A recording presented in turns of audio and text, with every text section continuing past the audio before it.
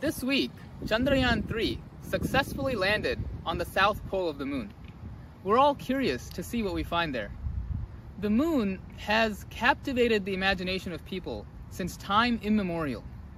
A Sanskrit poet named Appayya Dikshita speculates on the dark markings of the moon. What might they be?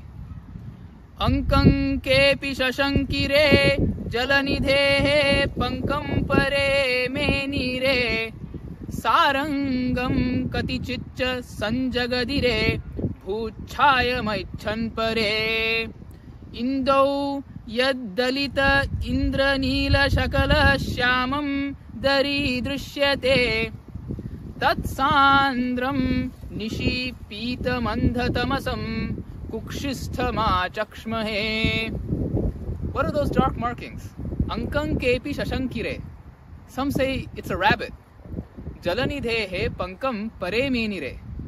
And some others say it's mud picked up by the moon at the time of the churning of the ocean.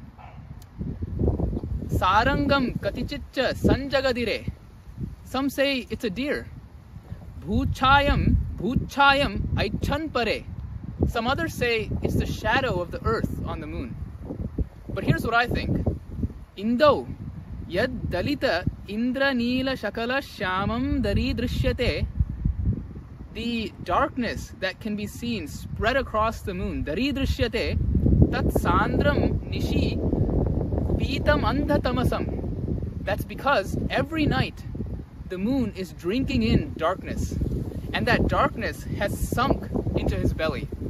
So that's what we see when we look at the moon. The same curiosity that fueled this kind of poetic imagination, the same drive is now at work in actually visiting and exploring the moon. The imagery of the poetic world is a beautiful juxtapose to the discoveries of the physical world. And so I wish the Chandrayaan mission success in its future explorations on the moon. And I hope that our curiosity, both in the physical world and the poetic world, continue unabated. As a side note, all of the components of the Chandrayaan mission have meaningful Sanskrit names. Chandrayaan itself means a lunar vehicle, and the lander is called Vikram, which means a heroic step.